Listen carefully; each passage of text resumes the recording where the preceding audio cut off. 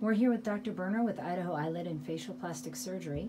Dr. Boerner, you've been doing facelifts and neck lifts for almost 20 years now. Uh, lots of people want to know a little bit more about the difference between those two and how you make the decision to do one versus another.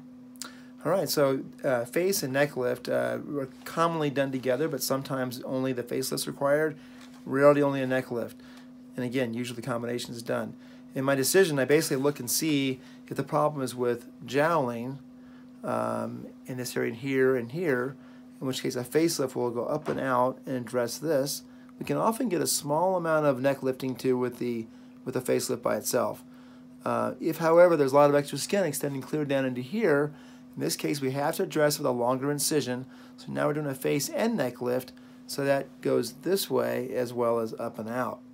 We got some good examples of people that have had both, and I can show you what each accomplished. So in this case, the facelift helped pull the jowling up. You see a nice good angle to the mandible there, the jawline. Good contour. And then this is the neck showing that excess skin went all the way down to the bottom here, in which case we had to redrape that way. Right.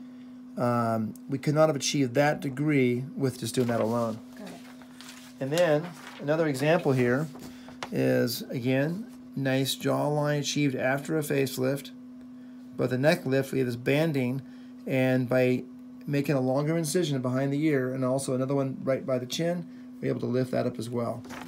And I finally just want to show an example of um, doing an, we call it an S lift, which is really a, just a facelift.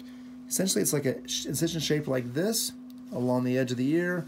We can stop right there in this younger patient who didn't really have much excess neck skin anyway.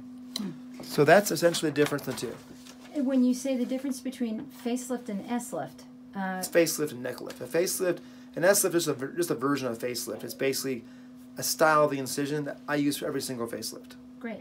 Thanks very much. You're welcome.